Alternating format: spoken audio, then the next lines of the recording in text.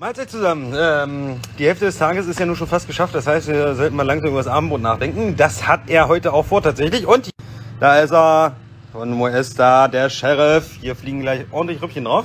Freue mich schon, ne? Noch was er leer. Aber ich mache mich, ah, ich mache mich mal ran an die Rippchen. Ne? Ähm, die würze ich jetzt schön und dann kommen die drauf. Geil, ich freue mich. Da liegen sie also nun, die guten Stücke. Äh, eingerappt sind sie. Ich nehme ganz gerne mal den hier.